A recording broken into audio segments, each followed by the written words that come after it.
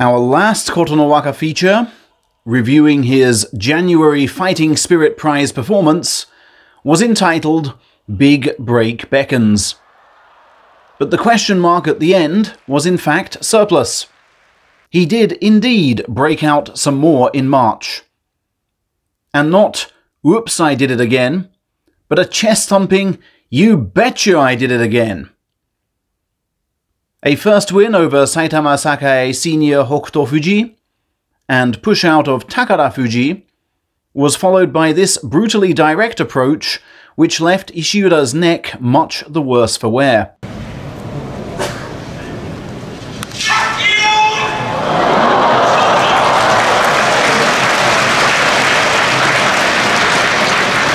Waka's worried human reaction of stark contrast to his moves. At the time, the 24 year old could not know how big his next bout would be. Against a man he'd once beaten by scoop, and only lost to by default. Failing to achieve with the rightward feint that sees off so many, Waka was disturbed to find his strength yet outdone by Takayasu's. His left arm clear second to his foe's hungry right and having been, as Takayasu described, methodically neutralized, Waka was rammed, bulldozed, and thrown.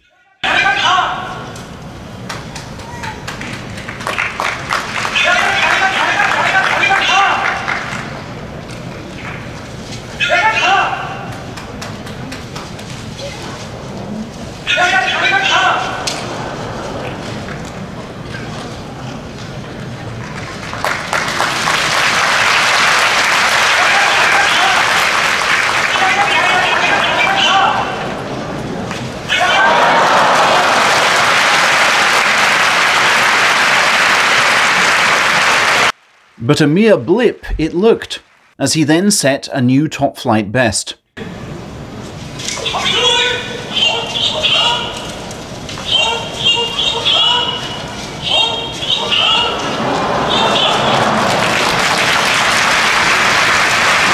Okinoumi fled with twisting hips, then punctured from below,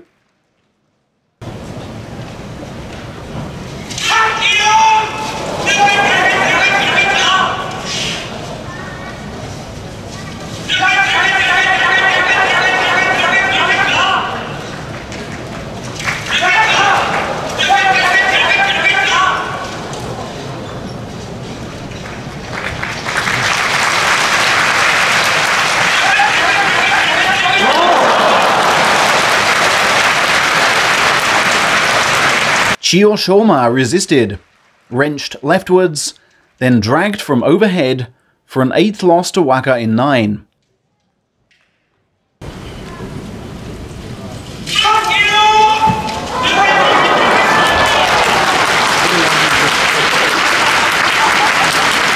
Sadanoumi checked with the chest, parried on the backward step, and expelled from behind,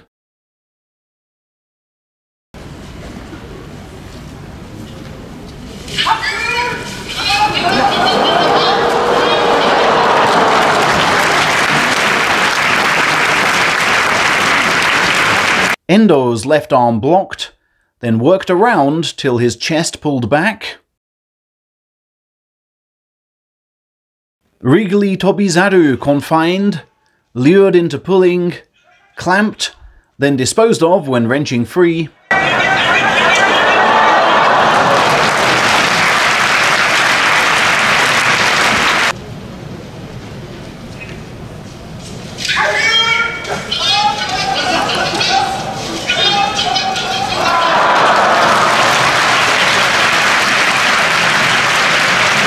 And Daieisho with no reverse gear, duly bopped from above for six straight wins and a marvellous second place. Now, assessing Waka's final five is not easy. Like Takayasu, he lost three times, which casts doubt on his big match composure and judgment. Not least when he elected to dodge despite vastly superior height and weight a choice that so angered high school teammate Takakeisho that he punched a wall in disgust. Waka then optimistically tried this clamp out despite the obvious strength in his foe's knees. Good practice for that playoff when viewed back now.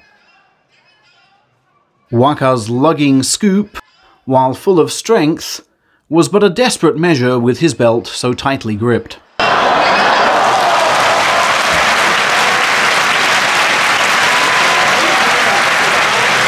Yet alongside such failures came the resounding success of beating two Ozeki straight, which is hardly the act of a choker. Shodai was matched for chest first impact, then manipulated from the right.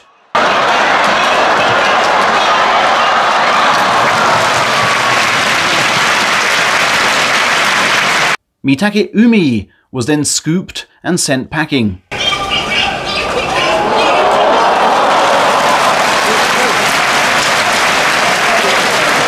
But then came this.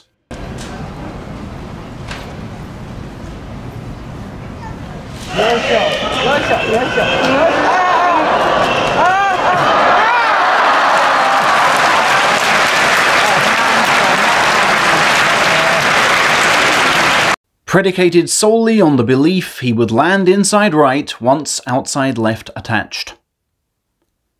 Hoshoryu's stylish swivels gave the lie to that, and once the head came out, the left came over. Deflating at least half of Waka's celebratory balloons. Hoshoryu on 7-7 clearly had pressure too, but handled it better. And Waka must reflect. The Fighting Spirit Award, we assume, was in praise of his never step back approach, which all coaches and wrestlers inwardly love. And even in defeat, I feel I kept driving forward, the man himself says. Continuing, my bad points I will work on, my good points I'll aim to bring out further. Waka's career high rank should well be renewed, and if a winning score follows, he'll be called the real deal.